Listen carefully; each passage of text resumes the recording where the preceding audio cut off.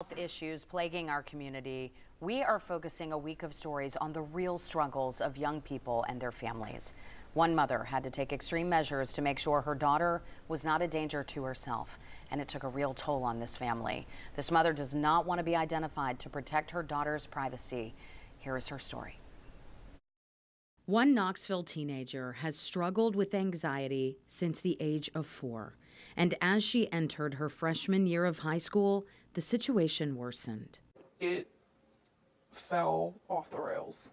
It a drastic downturn in her her willingness to want to do anything, willingness to take care of herself, to um, enjoy time with a family, to go anywhere, to engage in any activities.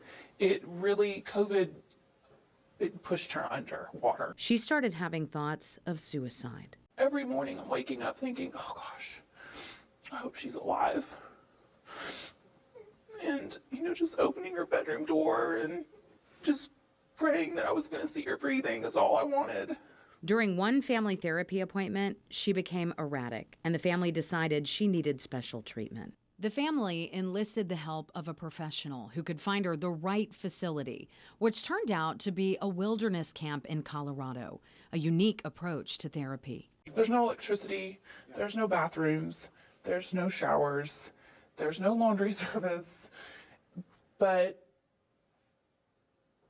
they're there to figure out how to survive them for themselves. But they have guides, they have therapists in the field, they have um, other peers that are in the program that they team up with. This program takes all those distractions out, and you are pretty much forced to sit and feel the feelings and work through the things, but you're supported by other peers that are dealing with the same issues. Through weekly calls, they finally started seeing improvement in their daughter's mental state. This is an emotional burnout because there's no close to the cycle of emotions. Like, and the and the cycle of emotions is wild. I mean, there were days I would just be so grateful that she was at a place where she was safe, and I was so sad that she wasn't here. These treatment centers come with a hefty price tag, and while this family has the means to pay for them, many others do not.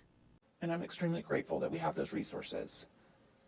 But I'm an anomaly. My family situation is. Everyone needs to be keenly aware and say, hey, this is a huge problem in our community, and we need to get out and talk about it. Mm, it's been such a struggle for this family. We do want to mention her daughter went into a residential treatment program and is now in a boarding school. We know this is extremely hard for parents and children alike. If your child is struggling or you are, we are sharing the suicide warning signs coming up in our next half hour.